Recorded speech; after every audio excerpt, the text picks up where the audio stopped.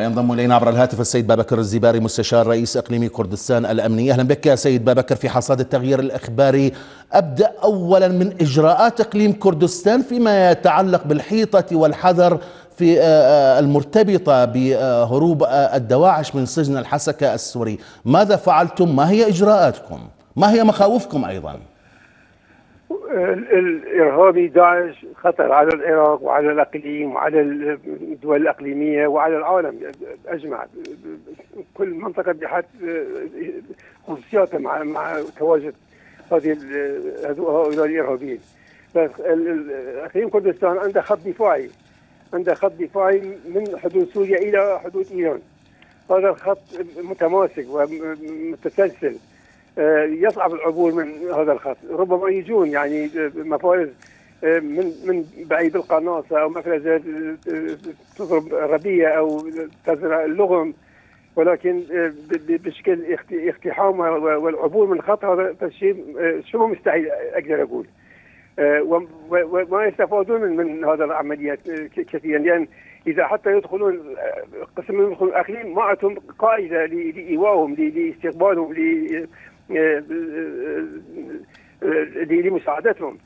فلذلك اتصور الخطر على اقليم كردستان أقل مما هو موجود في مناطق أخرى وبالأخص في مناطق اللي اللي اللي نسميه مناطق سنية لوجود بعض الناس اللي تضرروا أو اللي شعروا أنهم مغبونين انضموا إلى دواعش ويؤونهم يمدوهم بمعلومات يمدوهم بال... نعم أجد تحية ثانية بك سيد بابكر. يعني ثلاثة ألاف من أصل خمسة ألاف معتقل في سجن الحسكة هم من أصول عراقية أو عراقيون. وفي تصريح لك بالأمس قلت حضرتك من الخطأ أن يجمع آلاف الدواعش بسجن واحد وهروب هؤلاء. ما هو إلا تهديد يهدد المنطقة برمتها؟ على كل هل هنالك مشتبه دولي لربما له ضلوع في هذه الحادثة؟ ما أستبعد أبدا لأن لأن عدم عدم قبول أولئك الدول لإعادة ناسهم اللي انضموا إلى الدواعش وهم أسرى في في سوريا إلى بلدانهم. حتى العراقيين حتى سوريا ما حد استقبل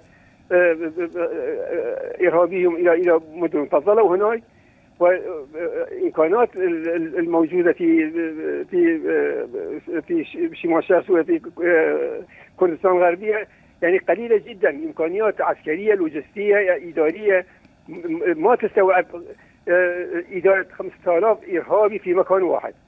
طب يعني سيد هذا أكبر خطأ. نعم.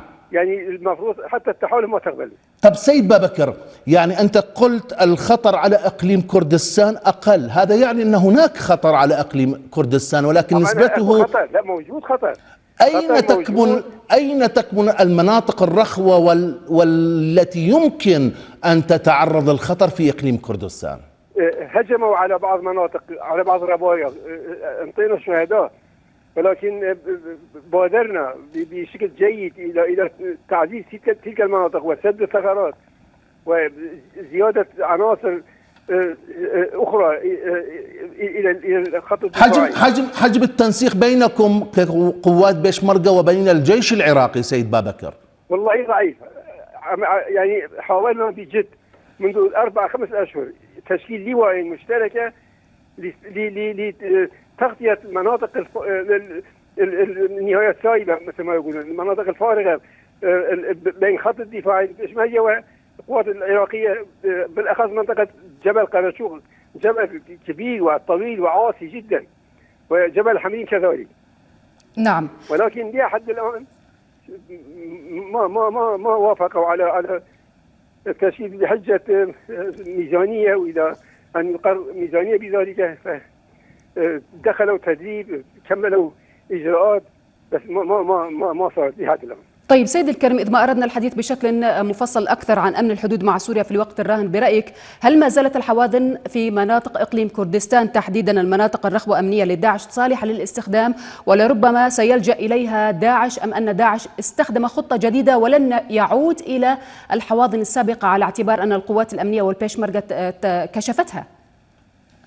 هم هم أخطأوا خطا كبير عندما احتلوا مدن في وقتها 2014 أصبحوا لقمة سائغه أمام آه، قوات التحالف الجوية وال- والعسكرية والإستخبارية.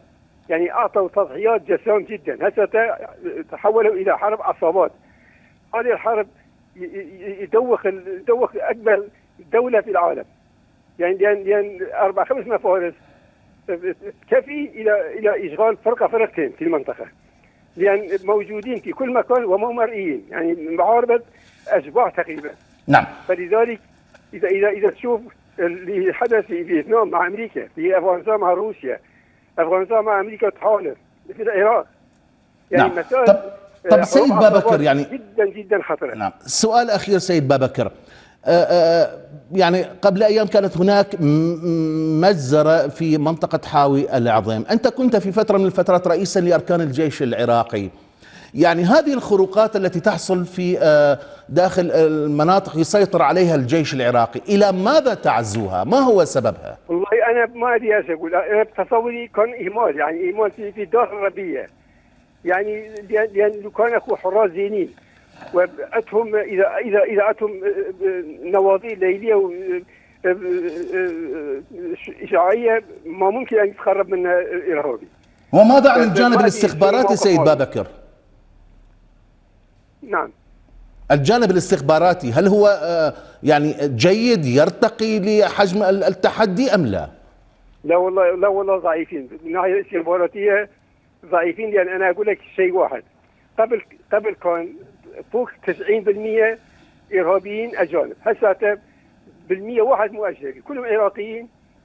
بال- بالنهار في أشغالهم اعمالهم وبالليل ارهابيين دواعش. فهذا هذا خطر. ما ما ما يحدد من هو الداعشي أين هو؟ وين هو؟ وهذا مشكلة كبيرة كلش. فالاستخبارات يجب أن يكون فعال أكثر. نعم. أنا أشكرك جزيل الشكر السيد بابكر زباري مستشار رئيس إقليم كردستان للشؤون الأمنية كنت معنا عبر الهاتف. شكرا جزيلا.